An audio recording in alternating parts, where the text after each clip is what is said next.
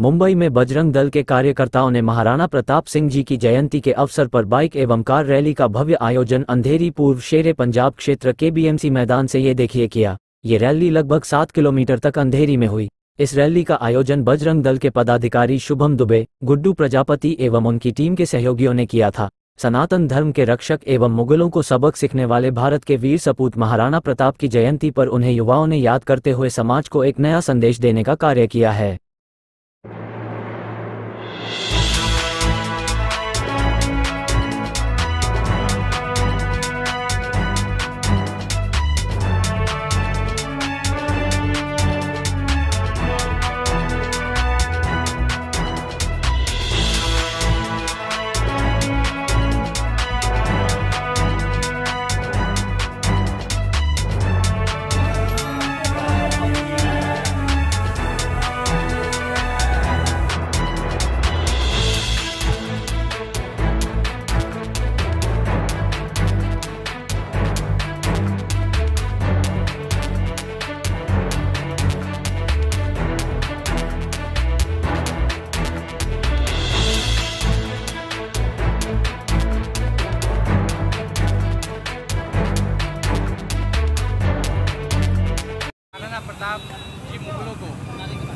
मुगलों द्वारा हमारे मेवाड़ के लोगों की रक्षा की।